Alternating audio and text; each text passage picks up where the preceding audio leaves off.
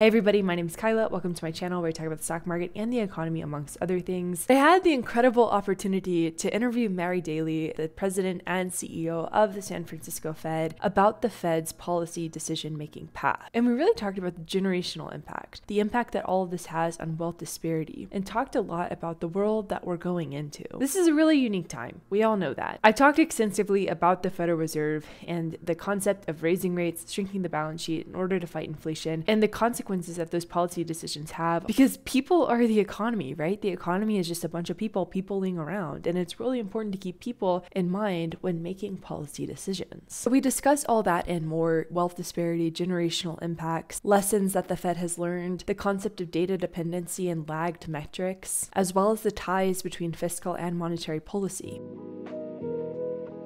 Hi, Mary. It's so great to have you here today to talk about the Fed and lessons from the past and looking forward to the future. I'm really excited to chat with you. I'm delighted to be here. So thanks for having me on. I wanted to talk about your background to begin with because it is unique from other Fed members. It's a unique background in general. So can you talk about, you know, where you've come from and how you think about how that influences how you're making policy today? Sure. And, and, I think about this a lot, largely because we're in a period of time right now when we have high inflation. And that was that was something happening during some of my formative years. So I grew up in Ballwin, Missouri, and in a family that was, you know, in the lower to low moderate income. Uh, depending on how you score it. And, you know, in my parlance growing up, we, we just lived very close to the edge. And we were just like so many American families then and today. You, we were one lost uh, job, one health event away from falling through. And so we had both of those in my family. My parents had both, and and suddenly we have we've we've lost everything. My parents went from playing figuring out how to pay the bills on a card table because inflation was so high, losing their jobs. And, you know, I dropped out of school to help out. So I dropped out when I was 15 and I worked.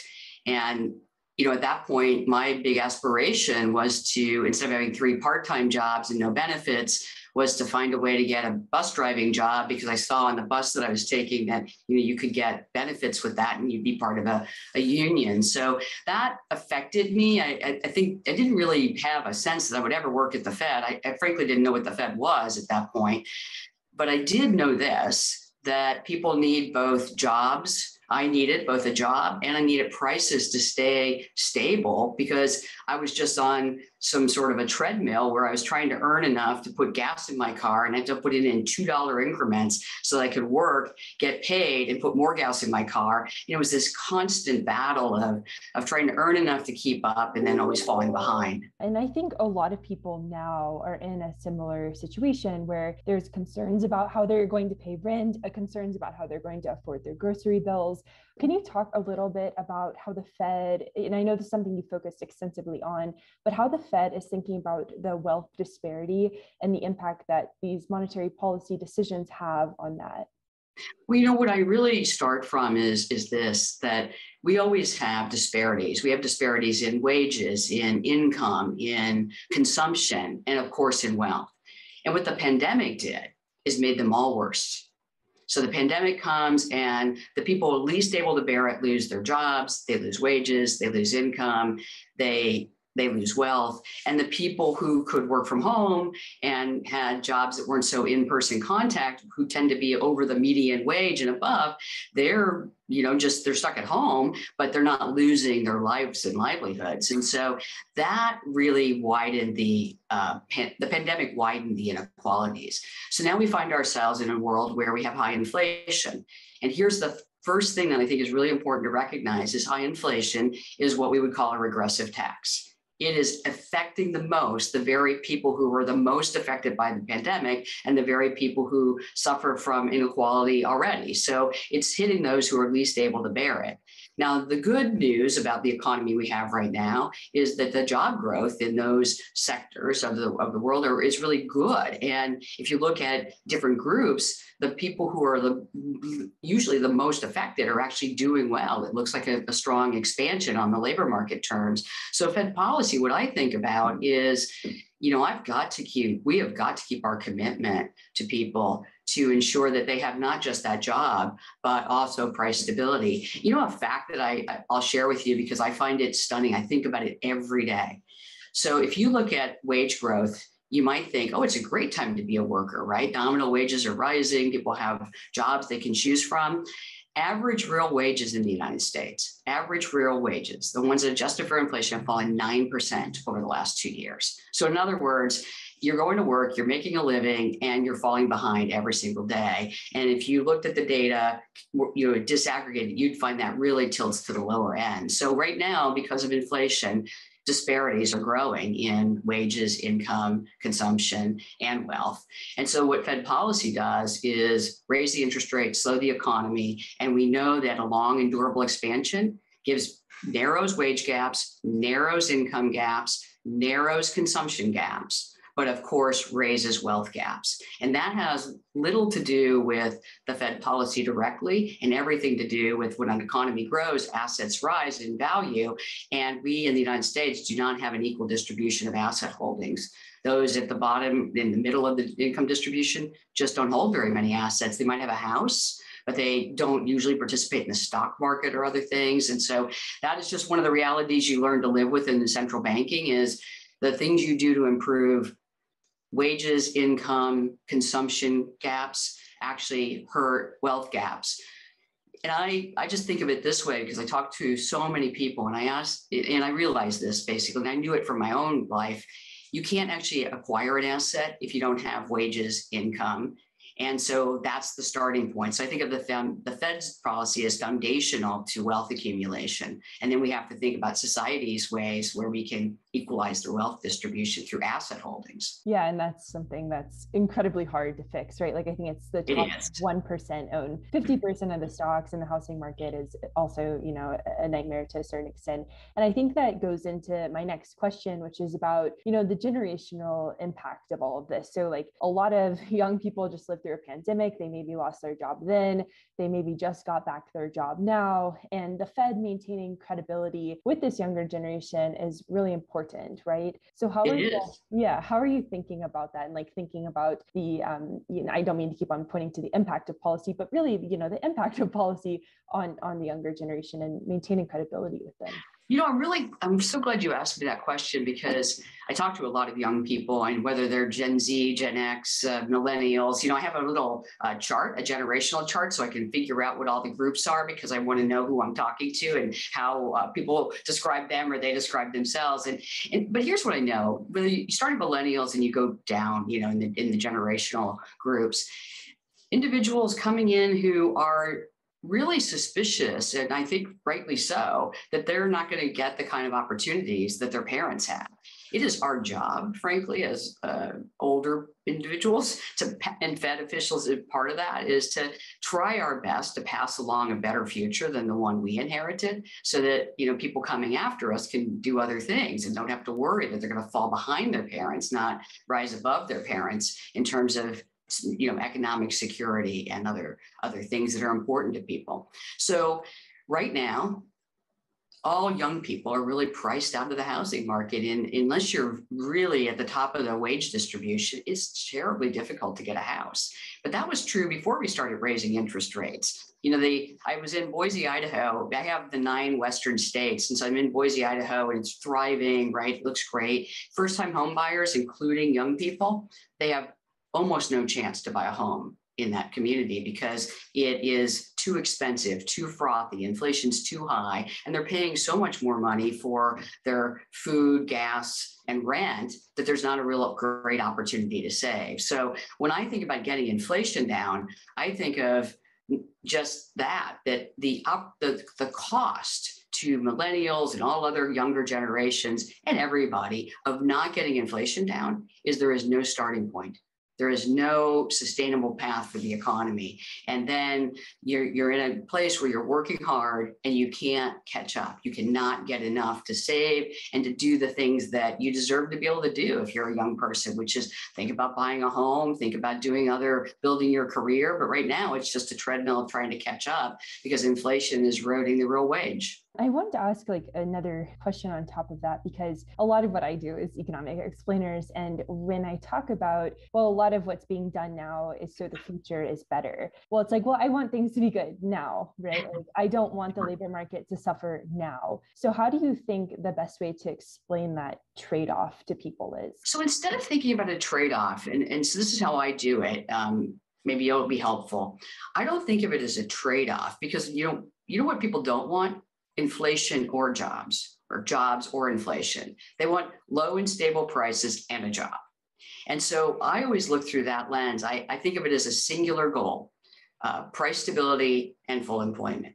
And so when I look at the labor market right now, we have a historically strong labor market. Unemployment is 3.5%. You know, I just met with, uh, I spent my entire week this week meeting with business leaders, community leaders, worker groups. This is just a lot of what we do across the entire, you know, nine Western states. And I heard again and again and again that people have job opportunities. And even when big tech firms, for instance, announce that they're going to stop hiring or they might even lay off, there are firms right there waiting to capture all of those individuals. So the job market is strong. People have even opportunities to negotiate where they work and what kind of wages they want, et cetera. What's problematic is that you can't keep up with inflation. So I think of that as it's not like the world is perfect right now. The world is in, we're in trouble right now right? Inflation's eroding the very thing we told people they could have, which is if you work hard and you do all these things and you have a great career and a great job, you'll be able to do things like purchase a home, go on vacation, you know, build a savings and have children, whatever it is you want to do. And those things have all been made harder by the fact that inflation's so high, you're just trying to keep up. So I don't think of it as pain now for greatness later. I think of it as there is pain now and we need to get it lowered so that we can be on a sustainable path give people both of what they want job opportunities and low and stable prices and let everyone young people you know middle people older people get back to the business of living and working and building careers. I think everyone is on board with that for sure and i am curious you know i feel like there's been a lot of lessons learned by everybody the past couple of years but the fed especially like just you know the meme is inflation is transitory obviously like that didn't end up being the case and nobody knew that at the time but i'm curious like how the fed is taking the lessons learned from the past and applying them towards future policy decisions? So the thing you have to know if you're a central banker is you're always learning. It's a daily experience, right? Because the I have the sticker. I actually wanted to find one for you. I left them all. Uh, I've given them all away. I have to make another run of them. But I made this sticker because when I first started as president, someone asked me, "What does it take to be a policymaker?" And I was in a big group of uh, young people, college students, and I said it really takes three skills, and then you have to continually repeat them every single day. You have to be voraciously curious and you have to look at yourself and learn every possible thing you can about the data, looking forward, talking to people. Then we have to take a decision about what we're going to do on policy eight times a year. So you have to be confident that you've done your job and you've looked with great curiosity and you be confident and take that decision. And then immediately upon doing it, you have to be humble that there's more to learn and that there you you know there's more things that will evolve that you have to pay attention to so i just am in, in a i guess one would call it a rinse and repeat cycle in a positive way i just do that all the time and i think that's what the fed's did, done so what is the fed learning well we're learning a lot of things we're learning about the fact that supply chains have just been very sluggish to recover. You might, you know, in a standard economics model, you think that prices go up and supply responds. That's actually not happening in the way that we're accustomed to because of COVID, because of the war in Ukraine, because of uncertainty in the economy more generally. And so supply chains have been very sluggish.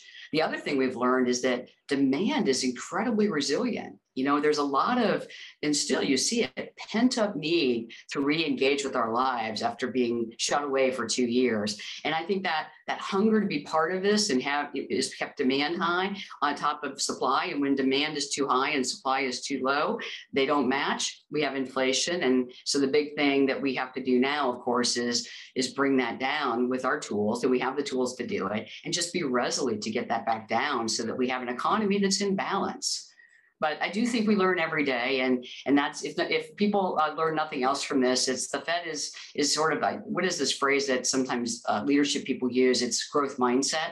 If you don't have a growth mindset, you can't be in central banking because it's a it's a humbling experience, but one you have to do because it's it's an honor and it's a responsibility to serve. No, thank you for for doing it. And um, in, in terms of you know thinking about what the Fed is looking at from a data point perspective and using you know the rather blunt tool of raising rates, a lot of data points are lagged, and the Fed is pretty focused on being data dependent. So how do you think about sort of parsing out that lag in the data as well as being focused on data?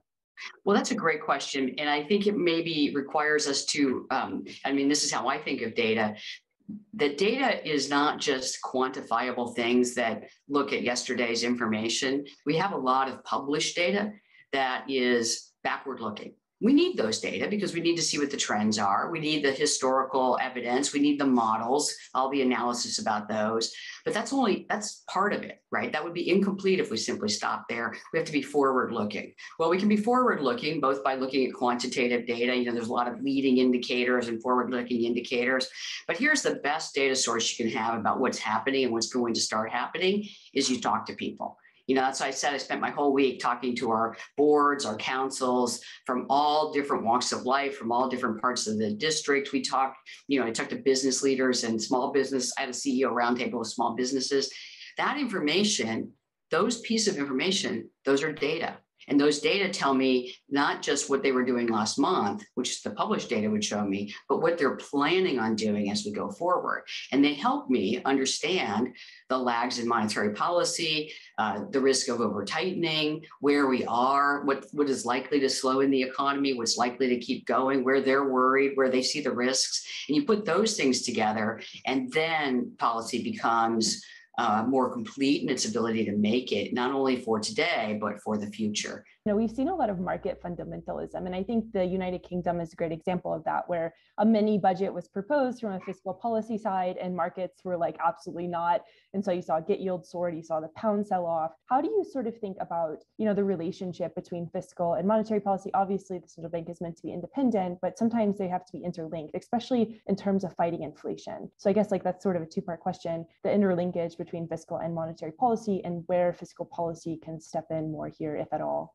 Sure. So I, I would, I think the way, well, let me just say the way I think about it is they're not interlinked, but we live in the same economy. So the Federal Reserve, like most well-functioning central banks across the globe, are is an independent entity and it's separate from the fiscal agents and but we have a very narrow goal so congress says you're independent where you, you don't have to be beholden to any particular political pressure, but you don't have very many tools. You have one tool and you have the goals we gave you, which is sustainable growth using full employment and price stability as your methods of achieving that. So that's our, our place. So that means that we react to the economy we're given, whether that's a pandemic economy or a strong economy, we're adjusting our policy to ensure that we get sustainable growth, price stability, full employment under the conditions we have. So, you know, what you're seeing in this world is that with inflation really high, everyone is really uncertain very uncertain about what is the Fed going to do, what are other central banks going to do. The fiscal side of the house tries to figure out their own remedies. And I will just offer there's a lot of work for all of us. So about half of the inflation we see in the United States, the excess inflation, is related to demand. And there's a there's a lot of research on this, but the San Francisco Fed publishes our outcomes each month that the data are released and shows about 50% of the inflation is related to demand, excess demand, and about 50% is related to limited supply. So that means the Fed's got 50% of the work of the high inflation to solve on its own, and we're not done yet. So we have a lot of work to do. And in the meantime, the fiscal side of the House, the, our elected officials, are obviously thinking about what they want to do to help ensure that supply re- can recover more quickly. Uh, the final thing I'll say on that, though, is the other part you, you didn't really mention, but is true. I think you alluded to it. Is we live in a global economy. So even if we solve our supply issues and our demand issues, there's supply issues in the global economy and, and tremendous amount of uncertainty. So you know we're living in a global economy where we have uh, a domestic mandate to achieve one part full employment and price stability. And that means that the Fed actually is we look at the economy we have and we build towards the economy we want. And that's that's just how we do our work. Well, I have a million more questions around the dollar, everything that you just said, but uh, we are unfortunately out of time. But thank you so much for joining me here today and, and, talking about you know all the work that the Fed is doing. And thank you for doing the work. This has been um, a great conversation. Well, I look forward to coming back sometime. There's a there's so much to talk about. So I hope to see you again soon. Thank you. So that was Mary Daly, president and CEO of the San Francisco Fed. I think the main thing is that the Fed is really focused on maintaining trust, on maintaining credibility. As I've said a couple times, the Fed's toolkit is rates, the balance sheet, but also talking, being out there in the community, letting people know what's going on and why things are happening the way that they are. And of course, policy decisions are not without consequence, and that's a conversation that could go on and on and on. I hope that you all are doing well. Thanks so much for listening, and I will talk to you all soon. Bye.